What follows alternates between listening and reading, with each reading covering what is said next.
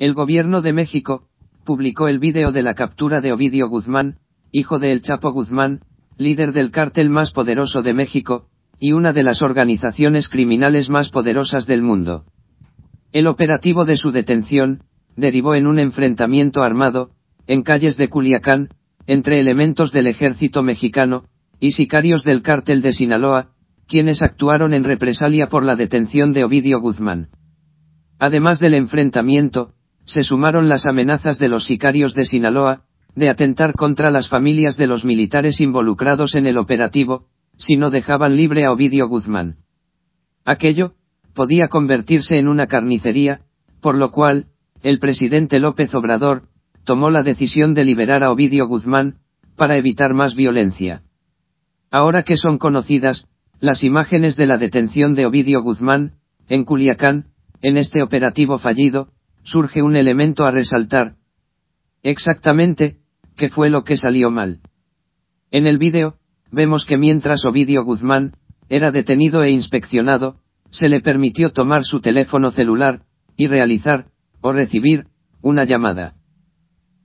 Esta llamada, constituyó el fracaso de todo el operativo, pues se le permitió comunicación al detenido, y aunque escuchamos a Ovidio, decir que se ha entregado, que ya no se haga nada por liberarlo.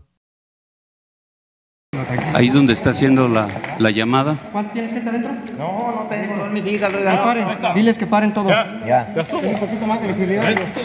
¿No veo más? Ya no alcanzo a ver más. No, así es. Pásame cinta, pásame cinta, güey. No puedo, ya. Esto ya. Señora, Eh, ya paren todo, oiga, ya paren todo. Ya, ya me entregué. Ya paren todo. Eso es lo, lo que está eh, estableciendo él en el teléfono.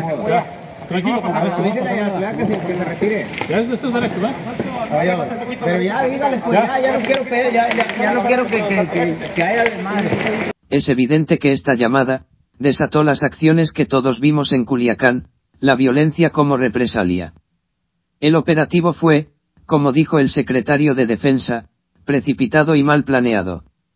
Mal planeado, porque ni siquiera contaba con una orden judicial que avalara la detención.